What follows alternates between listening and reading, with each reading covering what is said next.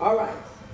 So the core values of All of Us Research Program is participation is open to all, the diversity, par uh, participants are partners, there's transparency, participants have access to their own data. I can go in and just see all of my stuff. Data is um, accessed broadly for research purposes. Security and privacy are the highest importance. The program may be a catalyst for positive change in. And I, and I like that you brought up the faith part because I'm a believer as well. And I know a lot of times that prayer away, that's one thing I always talk about when I talk about mental health is yes, you can continue to pray, but God created physicians just like he created medicine and prayer and everything else. He created physicians just like he created us.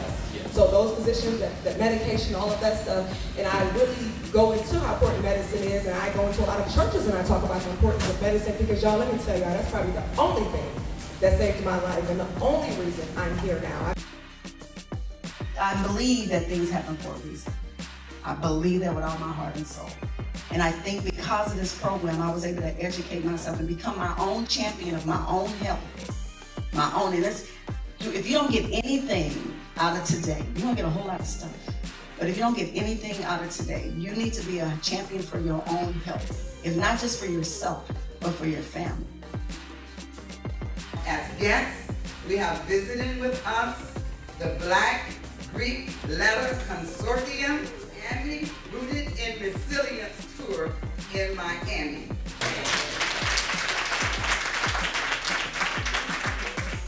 But here we cannot continue to live in fear because fear will kill you. It will kill us. We need to have a heritage of health to pass on to our next generation. We need to do that. We can't be afraid. We have to be educated. A community that understands and have the knowledge that they need to make decisions is a powerful community. And we are powerful people. We are resilient to all the things that come our way. But God says, faith without works is dead. So I would I would employ all of you. We'll talk again we'll bit in the fellowship hall to talk about how you can learn more about this program and how you can be a champion, a champion for your own health. Because that's what we have.